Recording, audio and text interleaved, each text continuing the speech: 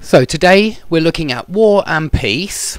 Firstly, you can make an alliance with someone. A sovereign state could make an alliance with another sovereign state. And this simply means that they become um, allies, which is another word for it, which is obviously from alliance. And your allies are the people who are on your side. It's a treaty, it's a type of treaty, a type of contract where two nations agree to be on the same side. And the same for make a pact with a pact, a type of treaty, because a treaty really means an international contract between sovereign states.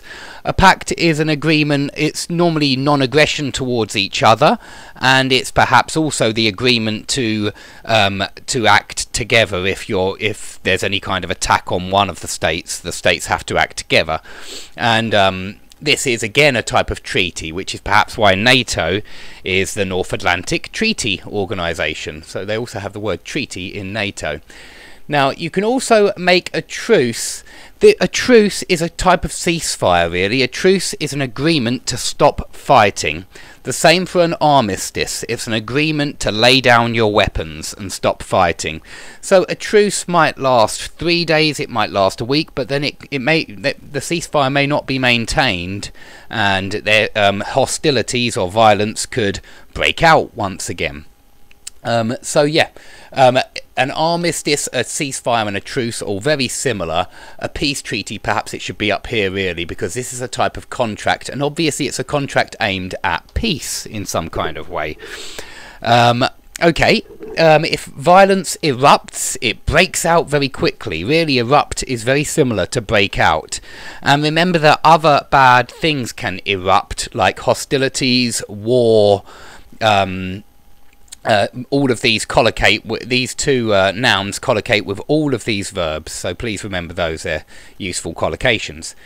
Um, to go on the offensive simply means that uh, uh um, one of the two armies who are fighting, um, that if they go on the offensive, they stop defending and they start attacking. Um, okay, so perhaps you could also say they launch a counter-attack. Perhaps the enemy is um, attacking and then you launch a counter-attack. It means you fight back in some kind of way. You go on the offensive suddenly. You can also launch surgical strikes, which usually means air strikes, and I better put that here, air strikes. Um, and the word surgical is used. To, it's kind of a euphemism, I suppose. Um, I don't know if you remember this word. It was in my vocabulary lesson on books and literature. Um, so euphemism. What I mean is, uh, there's nothing. There's no surgery involved in airstrikes. They're very destructive processes. Obviously, a lot of there are a lot of casualties in an airstrike. But the word surgical is to try and show how precise the airstrikes are. It's supposed to give the impression perhaps that there are there is very little collateral damage. What I mean here is that there are very uh, there are very few casualties as well, very few casualties. Um, because if something is surgical, it's only getting the enemy soldiers, it's not hitting civilians in any kind of way. And so this is a euphemism, really. I think most airstrikes are not as surgical as perhaps this word might make you believe, and perhaps very often there's collateral damage, which just means slaughtered civilians. Um, you can also launch a preemptive strike. A preemptive anything means something you do in anticipation of another action. So it's something you do to prevent another action. So when you launch a preemptive strike, you're hitting the opponent before he hits you. That's the whole point. You're, you're, you're attacking them because you're absolutely certain that they're going to attack you. And so you launch a preemptive strike to make sure that uh, they don't attack you in the first place again it's a kind of euphemism because this is or it's, it's a way of justifying aggression because this is a way of justifying attacking your opponent first. You're not attacking him first actually. You're attacking him because he was going to attack you. So preemptive strike it, it means um, it's a, an attempt to justify making the first attack i suppose. You're saying that he was going to attack anyway. Okay um, two more expressions to be under siege a siege is the type of attack when an army surrounds a town or city and um, very often they cut off supplies to the city. So there could be starvation in the city because there's no food coming in and there could be all sorts of other problems like looting and rioting. Looting is when there's no law and order and a lot of people are stealing things from each other. And rioting is similar. It's usually when they're setting fire to shops and stealing things from the shops and there's no law and order. Um, so a city could be under siege for one month, six months, three years. Um, you can also lay siege to a city, which is the opposite. You can say that uh, the army are laying siege to Madrid. I'm, I'm, just giving that as an example, but um, I'm, I'm, sure they're not, and I'm sure they won't be. But um, to lay siege to, it's always plus city. So if you read classical uh, literature and you you perhaps interested in history of Greece or Rome, you'll hear about the army laying siege to the city, the barbarian city, or the um, whatever. Okay, a military coup is when um, one particular group of people seize power, basically. Um, when it's military coup, it sounds like it's somebody connected to the military and they use the army to seize power from from the government or from whoever's in power at the time. And so it's a type of uprising, it's a type of rebellion, and it's when power changes in the state. It goes from one group to another group. Um, and it's involving the military, obviously. So there could be a civil war when there's a military coup. There could be a war in one state between two different powers, two different sides. That's what we call a civil war. It's not like a, an international conflict, it's a war in one particular state. Um, now, some army terms, I suppose, or some military terms. To ambush, it means to wait, to set up a trap for the enemy, um, and to wait for them to walk into their trap where they will be slaughtered. And you can also say to be caught in an ambush because it's a noun and a verb. Okay? To shell means to use heavy artillery um, shells are the, the the the bombs basically, which are fired by heavy artillery guns. So we're talking really big guns, not the kind of guns you carry, but the kind of guns which are very very big and you wheel to different places. And you could shell frontline positions. You could shell their headquarters. It's another word. Um, but yeah, you shell the enemy. You, it means you fire heavy artillery at the enemy.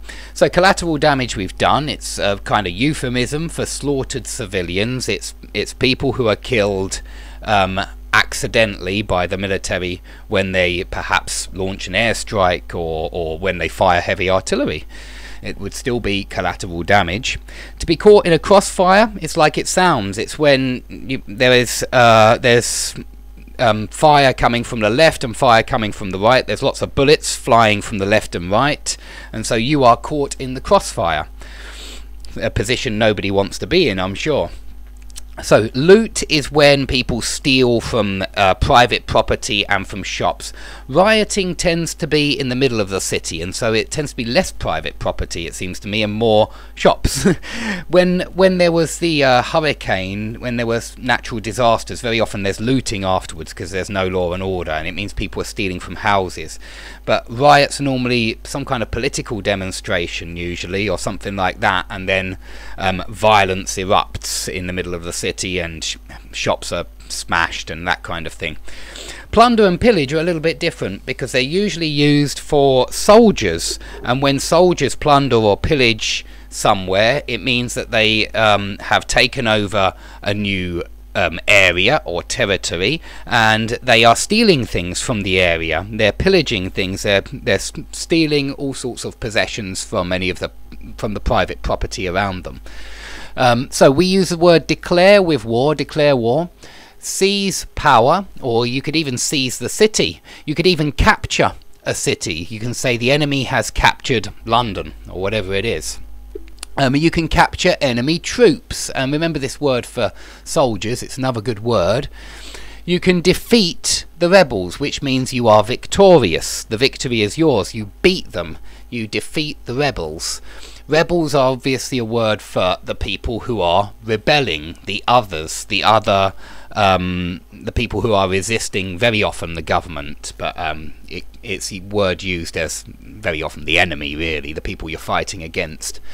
Okay, retreat or withdraw, they're a little bit different actually. I've put them together because they're very similar.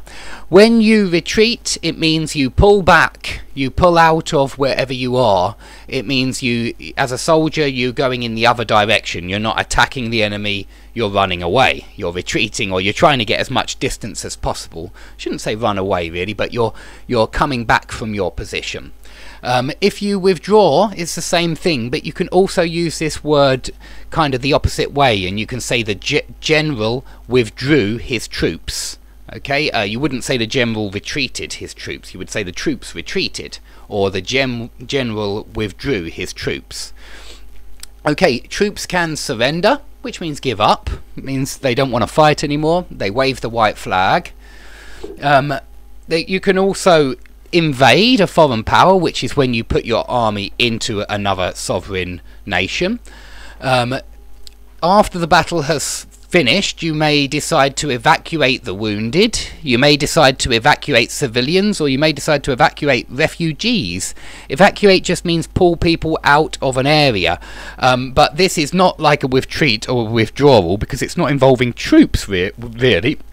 It could involve troops because they're wounded troops, but evacuate just means get people out of one area and put them in another.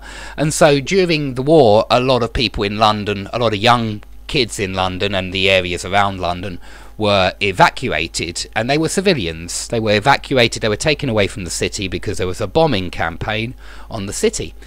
Um, you can annex a disputed territory, very similar to invade this word, um, and it it it's slightly different though because annex it sounds like it's a part of land which is right next to your country.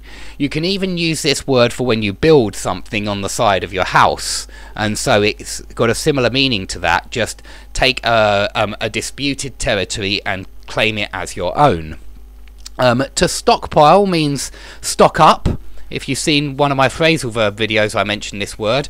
Stock up means um, uh, keep collecting and building building up your supply of something. And so if you're building up your supply of weapons you're stocking up on weapons. You're building up that supply. And of, of course um, if somebody's planning on going to war they need to stockpile some weapons first now deploy troops or heavy artillery or helicopters um, it simply means put those troops into battle, into action. It's kind of the opposite of withdraw. Withdraw your troops means take them away from action, and deploy them means put them into battle. Um, you can sustain heavy casualties. You can suffer from heavy casualties. Oh, so, sorry, suffer heavy casualties. Um, this means that uh, a lot of your men or your troops um, are wounded in battle. They're injured in some kind of way. You will probably want to disarm any soldiers who you've captured as soon as possible. disarm them, take away their weapons. But maybe there has been a ceasefire for a week, maybe there's been a truce for a week, and you have decided to rearm because you don't think that the truce will hold. So you, this means get get weapons back again, um, stock up on weapons once more. Um, last one I did was armoured car. Um, armour. I just wanted to show that this was similar to the word arm and arm and nuclear arms. Arms are obviously a type of weapon, and armour is what the knights used to wear in battle, and we also use it for when you armour some kind of modern equipment, like an armoured tank, an armoured car. It just means protection around the um, piece of equipment. Okay, thanks for uh, watching. Please ask any questions under the video and I'll try and answer them as soon as possible. Um, yeah, thanks very much and I'll see you all soon.